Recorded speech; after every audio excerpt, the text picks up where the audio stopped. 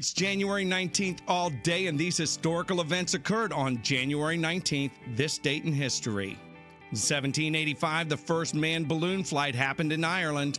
1861, Georgia secedes from the Union during the American Civil War. In 1922, the Geological Survey said that the U.S. oil supply would be depleted in 20 years. Trust the science, right? In 1952, the NFL purchases struggling football team franchise the New York Yanks from owner Ted Collins and moves the club to Dallas, Texas, where they didn't do so well either. Eventually, they become the Kansas City Chiefs, I believe. In 1952, the PGA approves allowing black participants. In 1955, the first presidential news conference is filmed for TV. That's Dwight Eisenhower, in case you were wondering. 1961, the first episode of The Dick Van Dyke Show is filmed. Again, they don't make TV like that anymore, and they should. But they won't, and they can't. Definitely can't.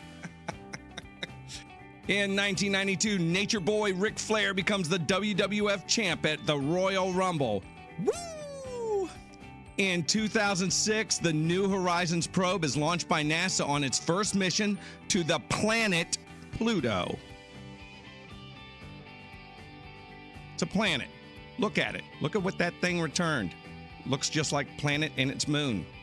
It's a planet. In 2012, the FBI shuts down megaupload.com for alleged copyright infringement, and then hacker group Anonymous responds by attacking the government and entertainment industry websites. Yes, that is frightening that they can do that. And in 2013, Lance Armstrong admits to blood doping in all seven of his Tour de France victories. You won't be accused of sophistry if you subscribe to my channel for this date in history. Like, share, subscribe, plus check out the comments below for even more January 19th and other histories.